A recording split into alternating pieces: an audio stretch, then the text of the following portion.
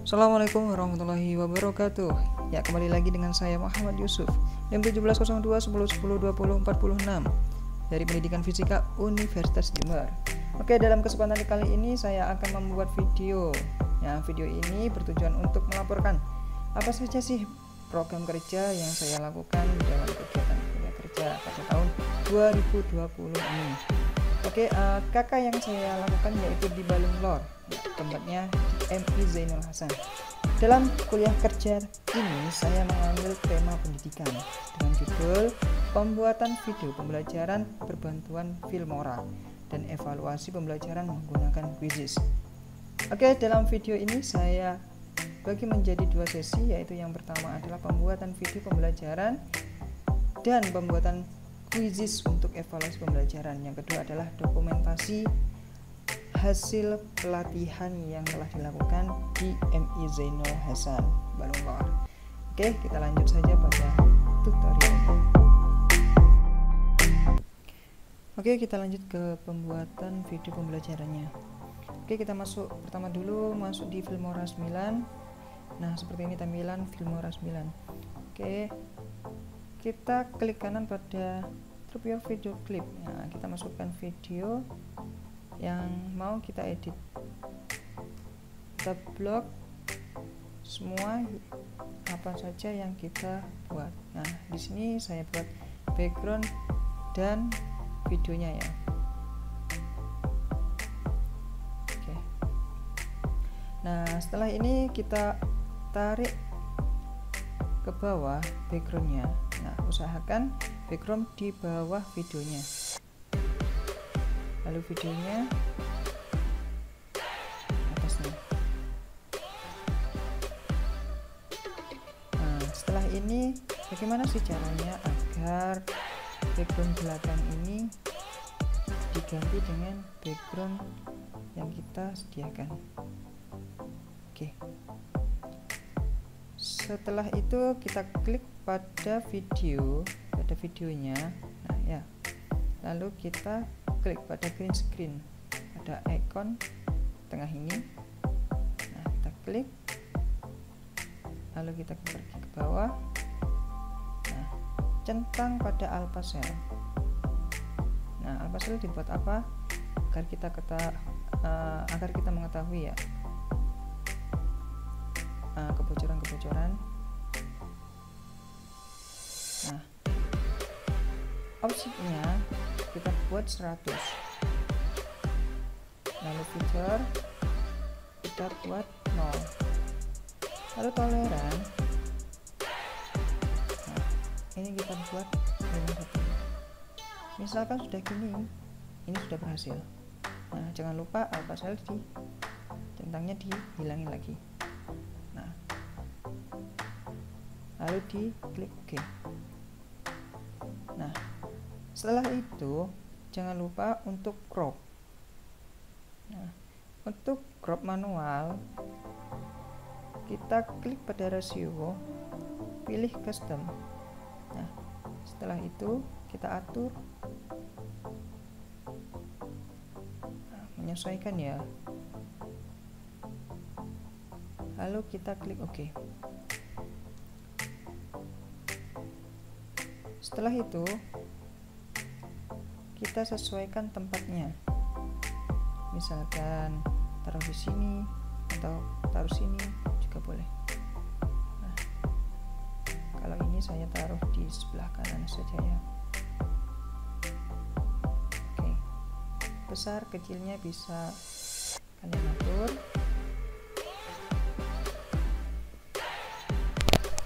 Oke, uh, sekarang kita akan memberikan tulisan. Ya memberikan tulisan atau titles nah kita ke titles terserah di sini kita uh, banyak pilihan. Kita coba satu saja. Kita taruh sini. Kita klik dua kali. Kita tulis. Terserah kita mau buat apa ya. Kita misalkan kita buat judul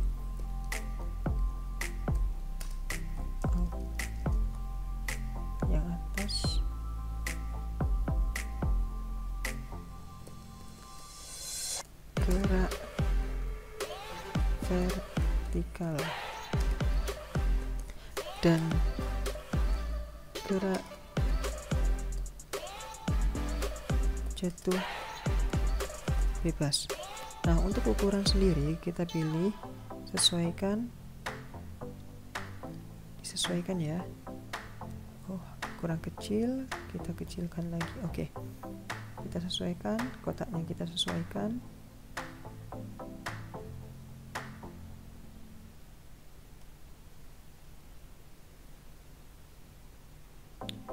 sesuaikan kita baguskan. Oke. Dari atas.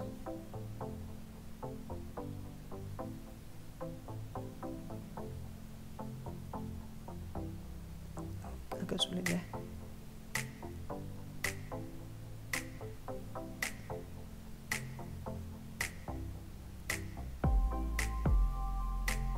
Oke oke. Kita coba.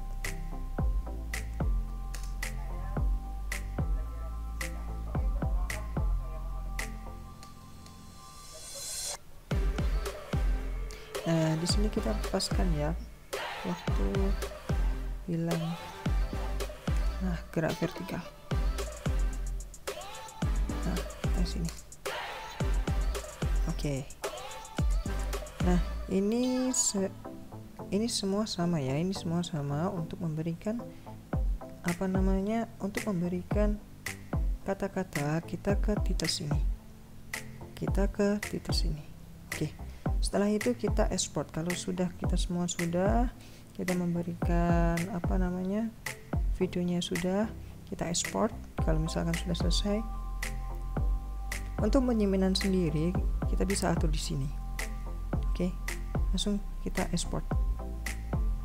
Nah untuk pengeksportan sendiri kita harus menunggu 100% nah setelah 100% kita bisa memutar video yang kita edit tadi. Oke setelah itu kita membahas tentang cara pembuatan quizzes untuk evaluasi pembelajaran. Nah, untuk quizzes sendiri, kita pertama-tama harus masuk apa namanya di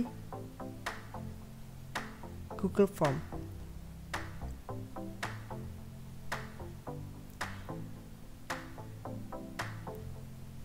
Pertama kita harus masuk di Google Chrome.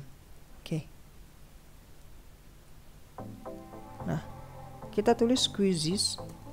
Kita tulis quizzes.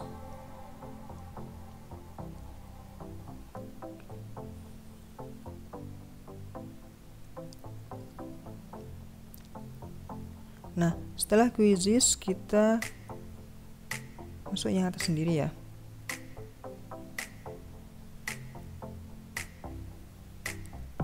Nah, oke. Okay. Untuk ini misalkan belum masuk silahkan masuk di akun Google sendiri-sendiri ya akun Google nah setelah masuk ini adalah tampilannya nah untuk membuat quiz kita klik buat lalu kita klik quiz nah untuk memberikan nama quiz ini kita ambil nama aja ulangan harian. Ulangan harian.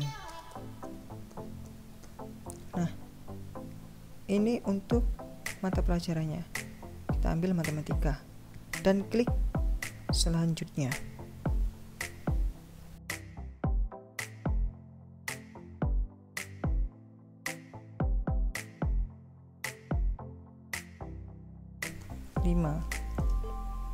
dengan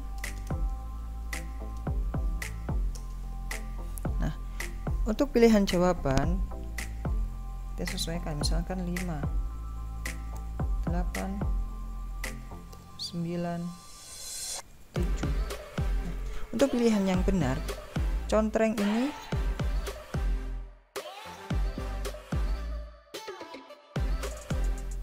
lalu kita simpan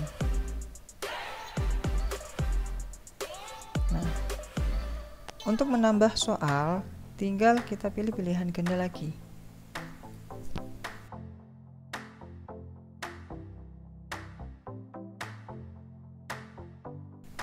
Sepuluh.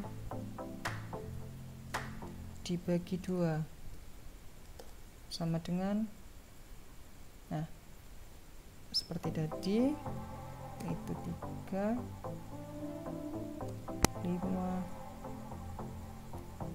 4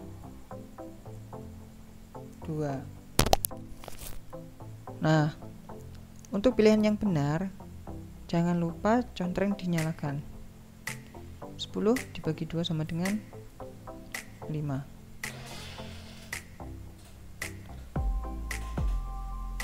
Untuk waktu silahkan atur sesuai yang kita mau. Oke, kita ketik saja 60 detik. Oke, kita simpan.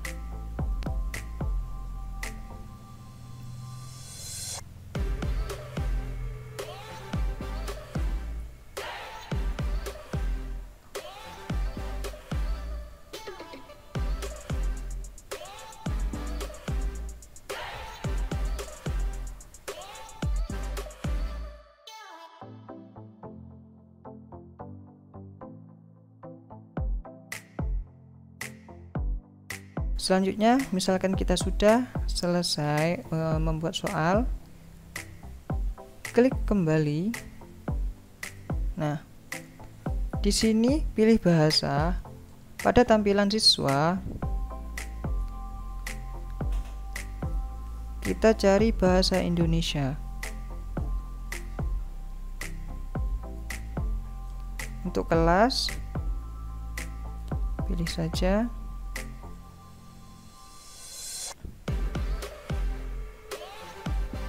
misalkan 9 tahun. Nah terlihat oleh semua orang dan simpan.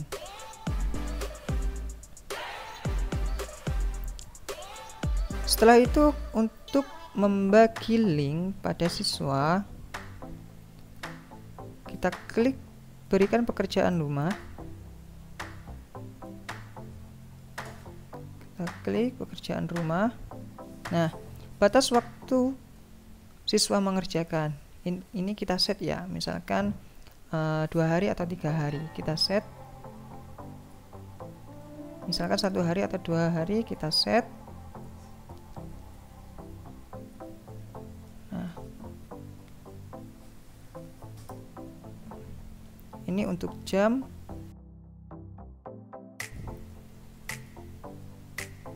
Nah untuk memberikan link pada siswa kita cukup mengkopinya nah kita klik pada ikon ini otomatis kita sudah mengcopy link tersebut dan diberikan kepada siswa. Oke sekian dari tutorial pembuatan video pembelajaran dan quizzes untuk evaluasi pembelajaran. Semoga bermanfaat Apabila ada salah kata, mohon maaf.